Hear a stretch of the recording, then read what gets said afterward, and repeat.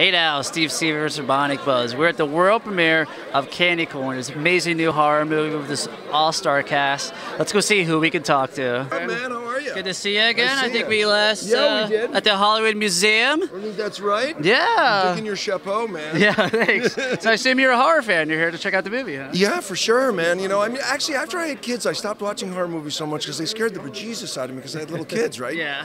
But uh, you know, as time has gone on, I've kind of rediscovered them and some of the classics, and showing my kids now that they're older. You know, they're teens and twenties, so now we can watch them. But yeah, yeah, I'm excited to see it. What's it like working with uh, Kristen Bell and Veronica Mars? Uh, it's effortless. There's Yeah, there's so there's good. nothing to say but good stuff. She's the nicest, most genuine, most giving and caring and loving and nice person, and she's grown up to be such a good person. And it's just, it's it's an absolute pleasure. You know, actually, it's an honor. She's a she's.